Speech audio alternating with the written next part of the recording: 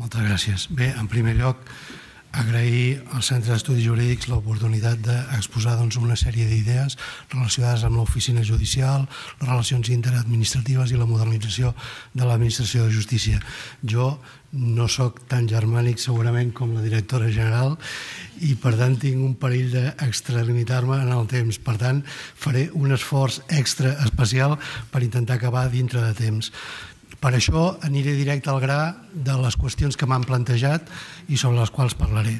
En primer lloc, se m'ha plantejat com una de les qüestions si són satisfactòries les actuals competències autonòmiques en relació amb l'oficina judicial o hi ha àmbits en què es podria tenir major intervenció. Bé, recordar que la Constitució de 1978 suposa una eh, redistribució territorial del poder en el qual, en l'àmbit que ens afecta, l'administració de justícia, les comunitats autònomes poden assumir competències no totes les comunitats autònomes ho han assumit, però en el cas de Catalunya així és.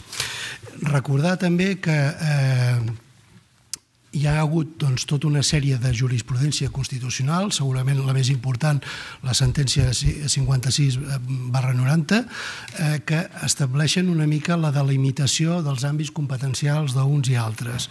Eh, la 5690, en concret, recordem que és aquella que establia que hi ha un nucli essencial de l'administració de justícia que només pot eh, ser competència exclusiva de l'Estat i un àmbit perifèric en el qual sí poden tenir intervenció les comunitats autònomes.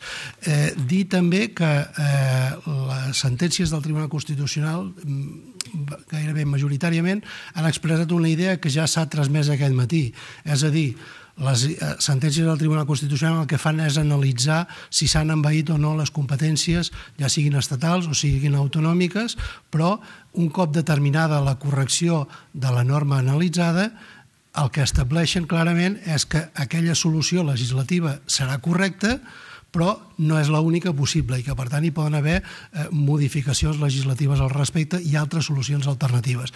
De fet, algunes de les impugnacions contingudes a la llei a la sentència analitzades a la sentència 5690 han estat objecte de modificació legislativa i ja avui doncs, no tindrien sentit. Dit això, eh, competències assumides per les comunitats autònomes, jo fent un recompte així molt ràpid a la llei orgànica del Poder Judicial n'he arribat a trobar fins a 70. Eh, sí que, lògicament no us avorriré llegir-les perquè seria inacabable, però eh, diria que és evident que dintre d'aquestes 70 n'hi ha de molt diferent condició. N'hi ha algunes que són de mer informe o de simples peticions, altres són, en canvi, realment eh, competències executives i fins i tot normatives competències normatives d'àmbit reglamentari. Eh, dit això, mm, tenint en compte totes aquestes competències tornem a la pregunta, són adequades? Bé, a, a veure, són suficients? Adequat és allò que és apropiat per aconseguir un determinat objectiu. Mm, quin objectiu és el que es vol aconseguir? Doncs, evidentment, tenir la millor administració de justícia. Mireu, eh, jo crec que s'ha parlat i molt abastament de si es poden tenir més competències en determinats àmbits i tal. Eh, jo potser aniré per una altra banda. Eh, tenim, tenim el que tenim i amb el que tenim hem de jugar eh, amb el que tenim i, i, i hem de jugar. Podem jugar en condicions? Doncs sí, sempre quan hi hagi un requisit que per mi és essencial, la coordinació. A veure, l'administració de justícia és una, suposa un entramat molt complex de relacions interadministratives a les quals després faré referència. Per una banda, hi ha competències per part del Ministeri, Consell General del Poder Judicial, eh, mm, eh, a un següent, comunitats autònomes, a un següent, en segon nivell eh, per part de jutges, sales de govern, presidents de tribunals superiors de justícia, presidents d'audiències provincial, jutges de GANs, juntes de jutges, per part dels lletrats, secretari de govern, secretaris coordinadors provincials, eh, hi ha també uns serveis territorials, és a dir, mm, tot un entramat de competències que són molt complexes i respecte a les quals s'ha de dir que si no es aconsegueix la més òptima coordinació entre elles, elles el bon funcionament de l'administració de justícia és absolutament impossible. A veure, l'administració de justícia és una administració que, malgrat el seu nom, no s'autoadministra com la majoria. És a dir, no, eh, no és eh, qui se subministra a si mateixa els recursos necessaris pel seu funcionament, sinó que depèn d'altres administracions. I en aquest entramat de relacions és evident que intervenen tots eh, en l'àmbit de les seves competències i buscant la millor alternativa per al funcionament de l'administració de justícia. Per tant, només des d'un exercici responsable i òptim de les competències i buscant la màxima coordinació entre totes les autoritats, organismes i institucions que han d'intervenir és com podem aconseguir millorar l'administració de justícia. Mireu, jo posaré un exemple molt senzill que ens pot servir per entendre el complex que és tot això.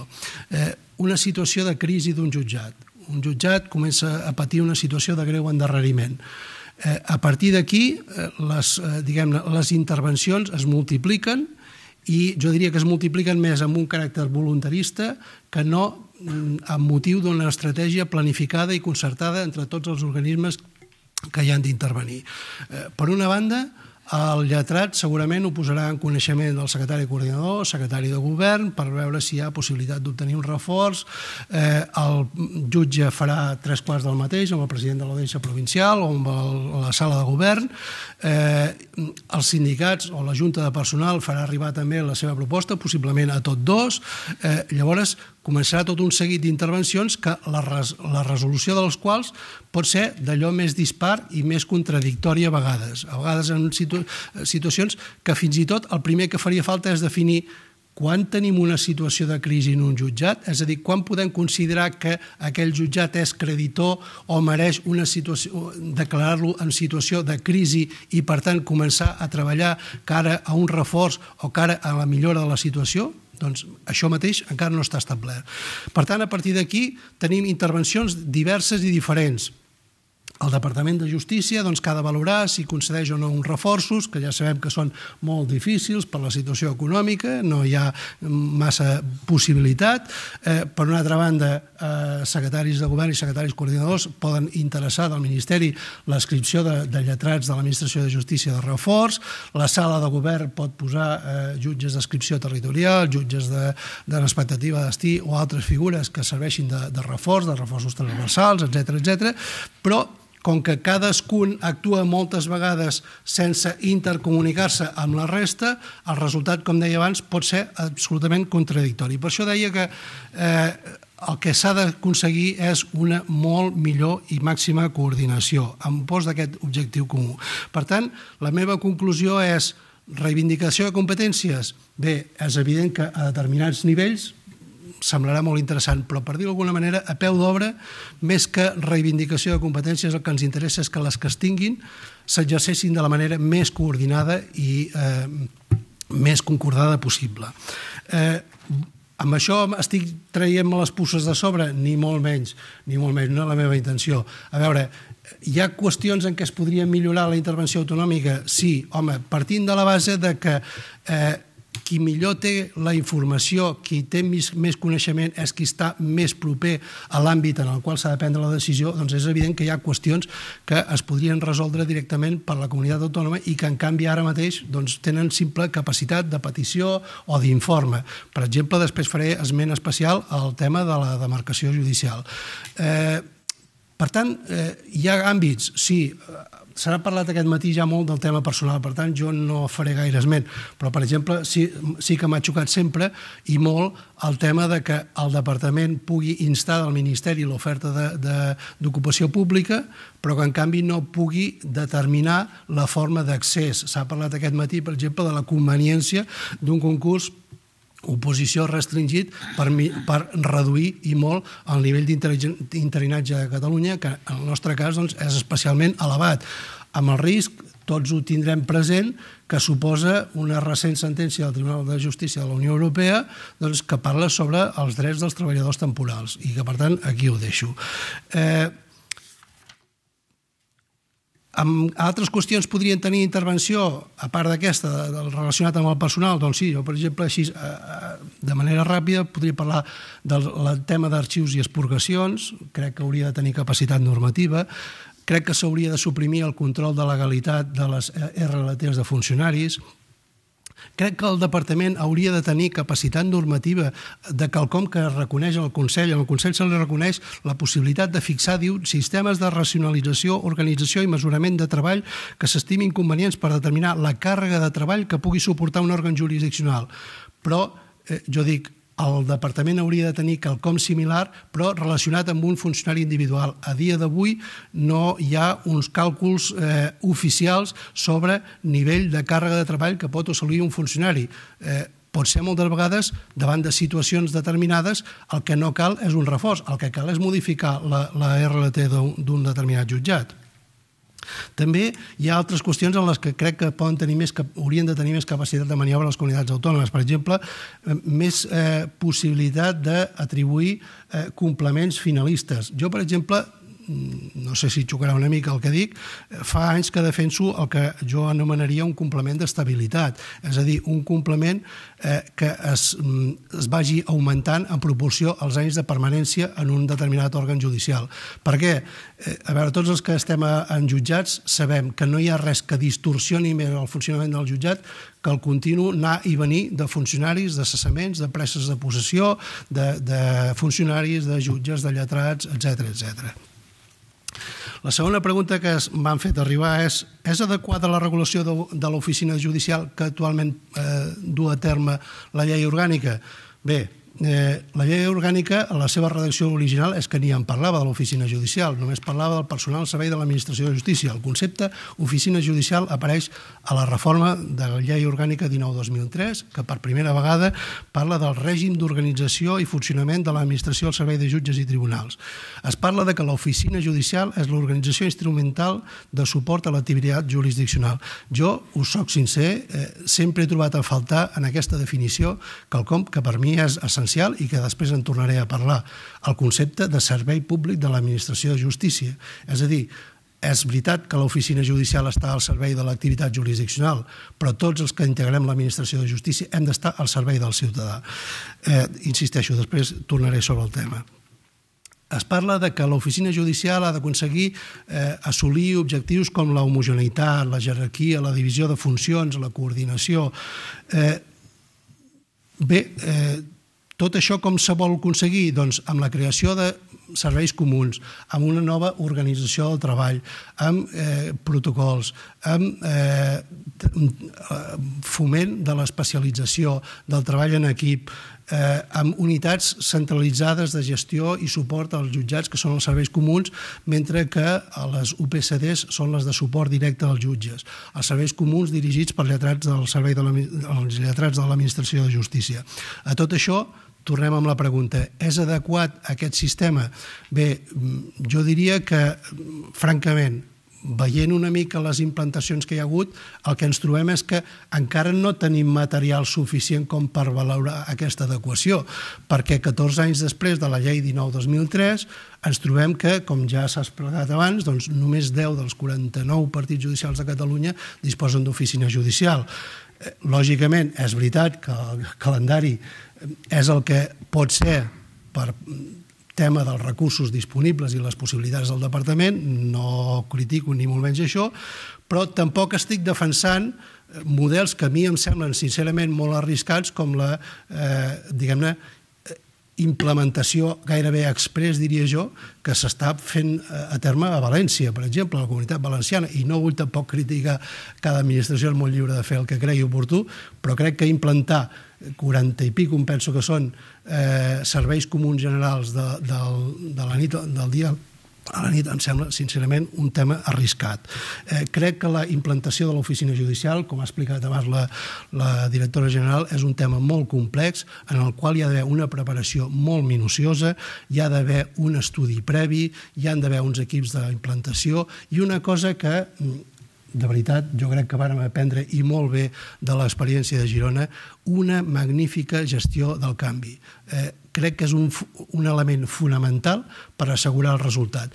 Dit tot això, torno a insistir la pregunta, és adequada la regulació de l'oficina judicial? Home, jo entenc que sí. Podria ser millor? Sí, segurament. La, la directora general ja ha expressat algun tema en el que es podria millorar. Jo, per exemple, així de, de, diguem-ne, breument, eh, parlaria, per exemple, de que cara a nosaltres, els lletrats de l'Administració de Justícia, sempre ens ha semblat insuficient eh, l'ordre ministerial del Ministeri sobre dotació eh, bàsica de les unitats de processals de suport directe, perquè no fa una distinció entre eh, partits judicials on s'ha implementat, implementat ESCOP i els que no. En els que s'ha implementat ESCOP, la unitat processal de suport directe és realment una unitat processal de suport directe i, per tant, la tasca del lletrat, assumint dos, tres eh, UPCDs, és perfectament admissible. En canvi, es fa molt més difícil quan no hi ha eh, un escop i, per tant, el lletrat ha d'assumir també les tasques pròpies del cos de lletrats de l'Administració de Justícia en la fase declarativa. Eh, Dit això, la meva experiència, eh, quina és la implantació de l'oficina judicial? Doncs una, una idea que ja he repetit, és a dir, més que les eines normatives, que jo entenc que les eines normatives evidentment són les mateixes, i si les eines normatives són les mateixes, com és que en alguns casos la implantació eh, se salda amb un èxit i altres casos amb un fracàs estrepitós?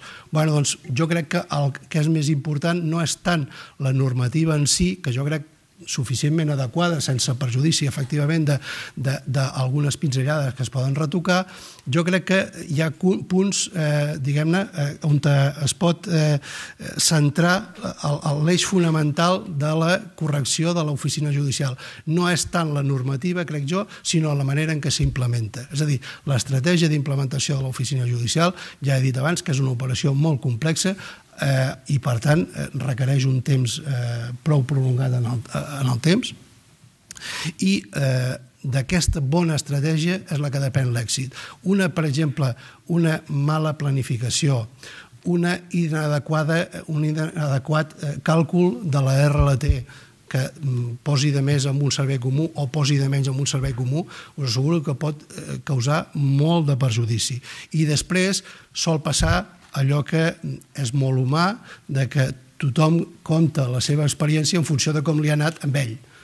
És a dir, una mala experiència amb, eh, amb implantació d'oficina judicial és una publicitat molt negativa del que representa la implementació de l'oficina judicial, mentre que un bon resultat se sol difondre, pot ser menys, jo diria, que els resultats negatius que a vegades s'han donat. Eh, la tercera pregunta que se m'ha plantejat és és adequat el paper de les comunitats autònomes en el disseny de les demarcacions judicials? Bé, a veure, la, la Constitució establia que les comunitats autònomes poden intervenir en el disseny de, les, eh, de la demarcació judicial, diu, amb la forma i el procediment que estableixi la llei orgànica del Poder Judicial. El problema, com sempre en aquest país, que a vegades fem les coses una mica girades, eh, és que els estatuts d'autonomia que s'havien de sotmetre en aquest procediment i forma previstos a la llei orgànica es van dictar abans que la llei orgànica del Poder Judicial, amb la qual ja teníem una primera, diguem-ne, possibilitat de dissonància. Eh, dit això, per tant, teníem tres normes. La Constitució, que era la norma habilitadora, la llei orgànica del Poder Judicial, que és la norma marc d'acord amb el procediment de la qual s'havia de, de crear la demarcació, i finalment l'Estatut d'Autonomia corresponent, que és el que tenia aquesta possibilitat d'intervenció. Ara bé, dit això, eh, cal, per situar eh, la qüestió en els seus termes, diferenciar entre planta i demarcació. La planta és l'establiment del número i tipus de jutjats eh, que corresponen eh, a un determinat àmbit. Però la demarcació és la fixació de l'àmbit territorial que actua en què actua aquesta planta. Doncs eh, en aquest tema el Tribunal Constitucional reiteradament ha delimitat que la planta és competència exclusiva de l'Estat. Això no impedeix, evidentment, faltaria més, que la comunitat autònoma, davant de qualsevol mancança d'òrgans judicials, doncs pugui fer les seves corresponents propostes. Però, vull dir, eh, la competència definitiva és estatal. Mentre que si hi ha possibilitat d'intervenció a la demarcació per part de les comunitats autònomes. Ara bé, aquesta possibilitat d'intervenció està fixada amb alguns límits. Per exemple, eh, la llei orgànica estableix que no es pot modificar l'àmbit provincial. Eh, la província ve fixada eh, diguem-ne com a àmbit territorial dintre la Constitució i no hi ha possibilitat de disponibilitat. Tampoc hi ha, evidentment, possibilitat de disponibilitat de la comunitat autònoma, que és l'àmbit del Tribunal Superior de Justícia. Per què? Doncs perquè també ve directament eh, regulat a la Constitució. Eh, Dit això, hi ha algunes qüestions en què poden intervenir. Home, diguem-ne, vist així, semblaria, home, gairebé que no es deixa més possibilitat d'intervenció a les comunitats autònomes que per eh, als jutjats de pau i els jutjats de primera instància i instrucció. Respecte als jutjats de pau, és cert que la competència, tota vegada que el seu àmbit és el municipi, la competència és exclusivament exclusivament de la comunitat autònoma. En el cas del de, de partit judicial, el partit judicial l'únic límit que estableix la llei orgànica és que els municipis que l'integren han de ser de la mateixa província. No hi ha possibilitat de eh, crear partits judicials eh, agregant municipis de províncies diferents. Eh, també hi ha possibilitat de, de, de, de fixació per llei per les comunitats autònomes de la capitalitat dels partits judicials. El que passa que hi ha un punt que jo, sincerament, trobo innecessari, que és que eh, eh, la determinació d'aquesta capitalitat s'ha de fer per llei, ja dic, per la comunitat autònoma, però previ informe del Consell General del Poder Judicial. Jo, sincerament, crec que el canvi de capitalitat suposa un trastorn tan gran, tan gran, perquè pensem que és canviar d'edifici, lògicament, perquè es canvia de ciutat, canviar d'edifici, canviar infraestructures, canviar eh, els funcionaris del lloc de residència... Mm, eh, en fi, eh, és un canvi tan important que és evident que no es farà si no hi, hauria, si no hi ha una raó de molt de pes. Per tant, jo entenc que no hi hauria necessitat. Dit això, quin és el procediment que s'ha de seguir per crear mm, o modificar la demarcació judicial? La veritat és que és un procediment, sincerament, jo ja ho dic d'avançada, eh, que a mi em sembla molt rígid i excessivament formalista.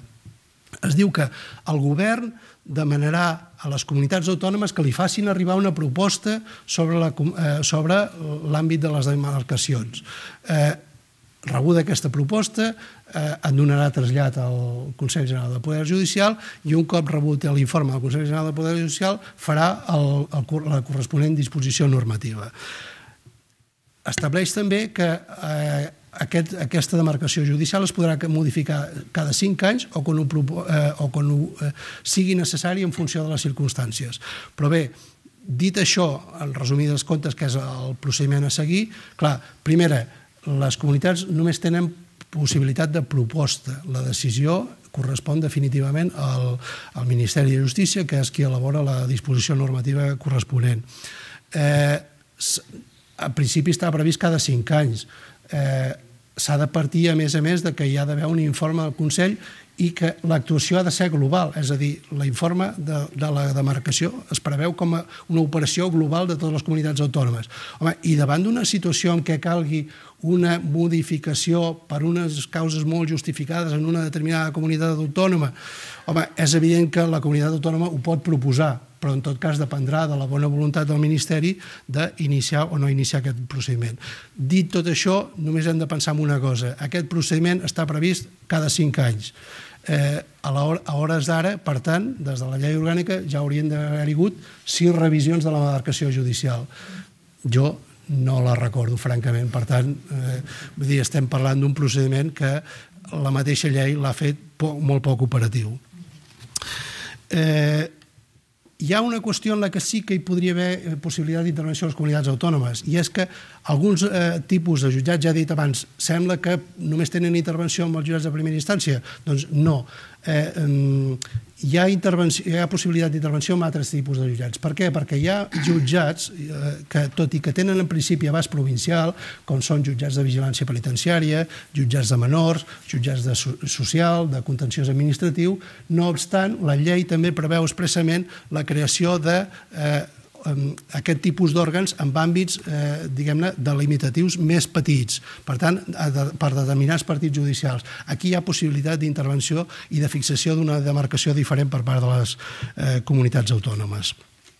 I ja he dit, per últim, la fixació de la capitalitat que s'ha de fer per eh, la, la llei de la comunitat autònoma previ informe del Ministeri Fiscal torno a repetir allò que he dit de, des del principi, és a dir, aquest procediment, tot i que ja dic, em sembla molt poc operatiu i, i excessivament rígid, eh, és l'única opció disponible? No. El Tribunal Constitucional, insisteixo, ha dit i ha deixat molt clar que eh, la solució legislativa és aquesta, però això no vol dir que no hi hagi altres solucions alternatives possibles. Per tant, és qüestió de modificació de la llei. Això és el que tenim ara a dia d'avui. Quarta pregunta. Són satisfactòries les relacions interadministratives entre les diverses administracions? Bé, ja he dit abans que precisament hi ha un nombre d'intervencions eh, administratives excessivament elevat, pot ser, però és el que hi ha, ja, ja, ja és el que he dit. Mm, ens hem de conformar amb el que hi ha, tenim el que tenim, per tant, mirem de jugar de la millor manera amb les cartes que tenim. Ja has parlat d'un primer nivell, Ministeri de Justícia, comunitats autònomes, eh, eh, Consell General del Poder Judicial. Dintre d'aquest primer nivell m'interessa recalcar un, un àmbit d'interrelació molt important, que és, eh, se n'ha parlat breument aquest matí, el Comitè Tècnic Estatal de l'Administració Judicial Electrònica. Si com després veurem un dels grans reptes que té l'Administració de Justícia avui en dia és l'actualització tecnològica, eh, el CTAG, abreujadament, és l'òrgan de col·laboració entre les diferents administracions en matèria d'administració judicial electrònica.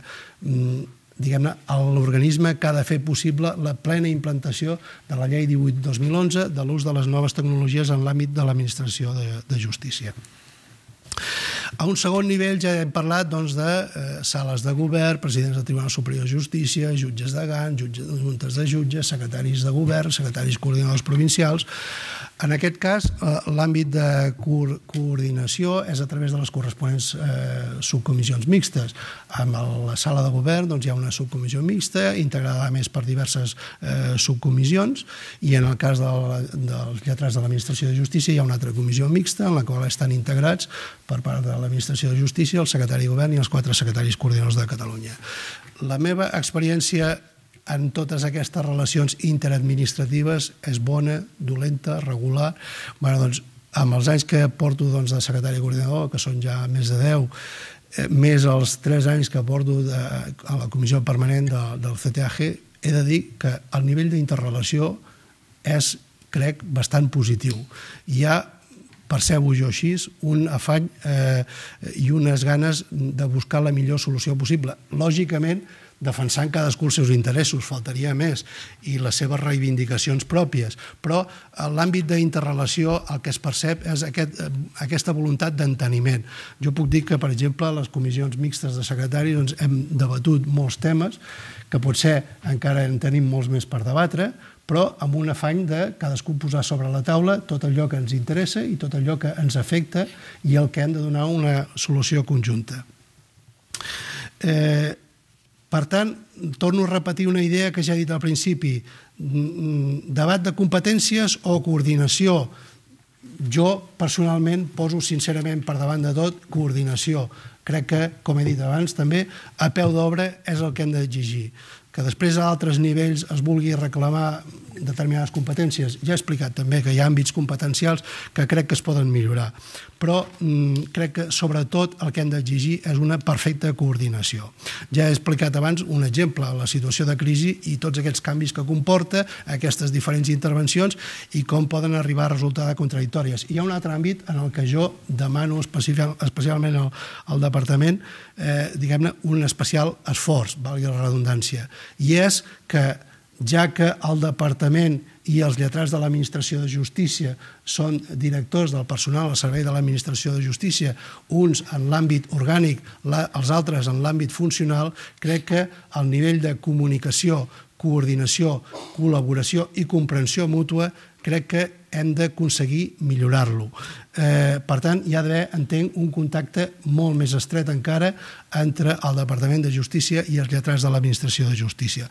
Qüestions com, ja se n'ha fet esment d'algunes aquest matí, els expedients de manca d'idoneïtat, els expedients disciplinaris, la cobertura de baixes tan temuda per tots, l'alta d'usuaris en els sistemes informàtics, les necessitats formatives, en fi, tota una sèrie de qüestions en les quals crec que la interrelació eh, Departament Lletrats de l'Administració de Justícia ha de ser d'estreta i franca col·laboració.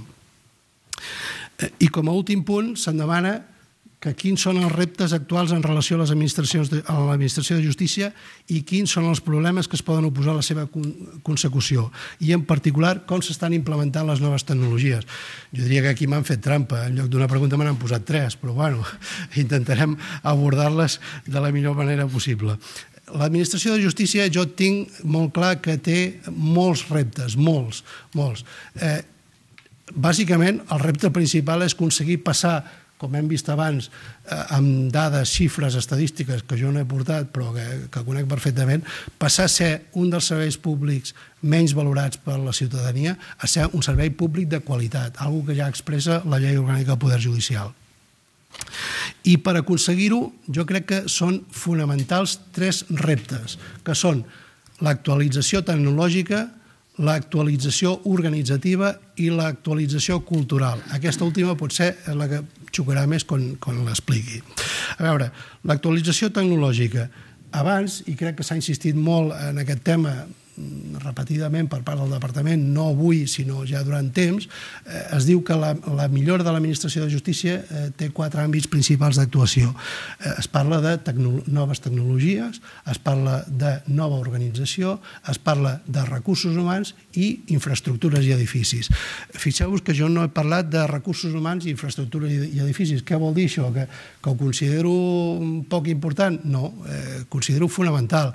Ara bé, eh, sent sincers, la situació que tenim a Catalunya, afortunadament, a dia d'avui, en matèria d'edificis, i salvant, lògicament, algun cas molt específic, doncs podem dir que és, afortunadament, molt millor que la que teníem doncs, fa 20-25 anys enrere. I el tema de recursos humans entenc que és una qüestió molt estretament lligada també a la nova organització. És a dir, la nova organització jo crec que permet millorar molt la gestió dels recursos humans i, per tant, els resultats obtinguts amb ella. Per tant, ho concentro en aquests tres aspectes, actualització tecnològica, actualització organitzativa i actualització cultural.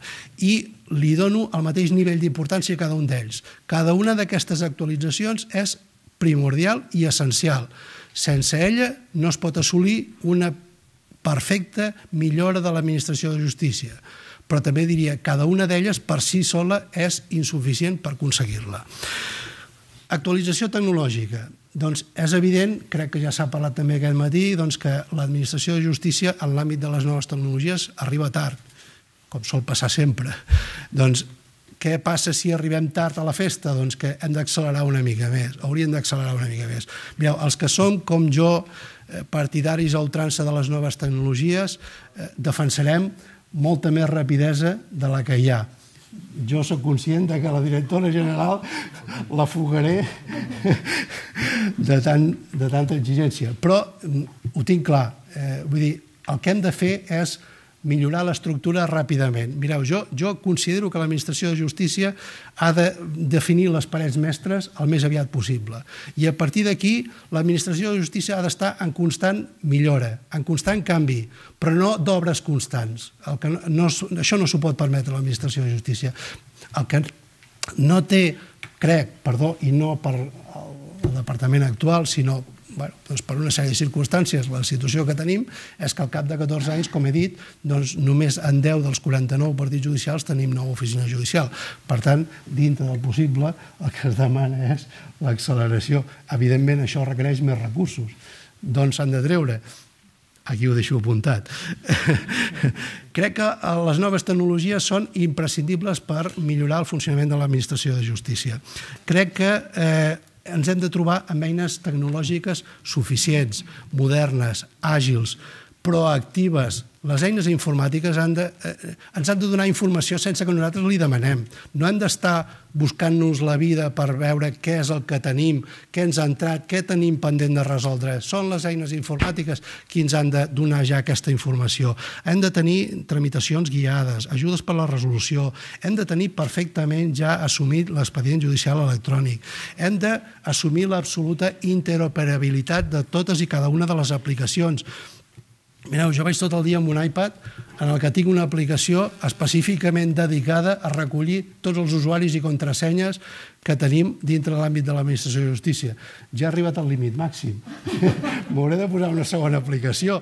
Això no pot ser. Vull dir, hem d'aconseguir que totes les operacions funcionin amb un sistema de firma única. Jo me valido en el sistema i un cop validat que pugui entrar a totes les, a totes les aplicacions. Perfecte, sí. Vaig, vaig bé, eh? vaig bé. Per lo que sóc jo, vaig bé.